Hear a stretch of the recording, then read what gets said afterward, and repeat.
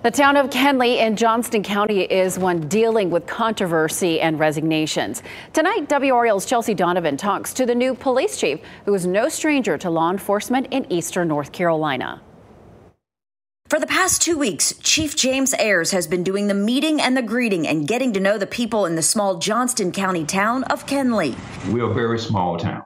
Um, the people here they are absolutely uh, wonderful. Ayers is taking over a town with a fractured administration and leading up a force after Chief Josh Gibson and four of his full time officers resigned last summer, along with two town administrators, all citing a hostile work environment under newly hired town manager Justine Jones.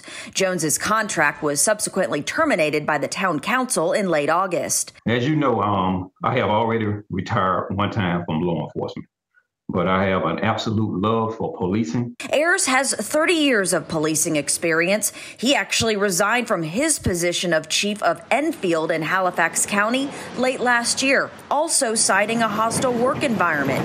Ayers didn't want to talk, though, about that or Kenly's fractured past. We are saying that we are going to be community oriented. Well, I'm going to be the first one that's going to be knocking on the citizen doors and asking them how can we address their needs. Right now, it's just Ayers and a reserve officer on the force. The Johnston County Sheriff's Office continues to patrol the town and respond to incidents.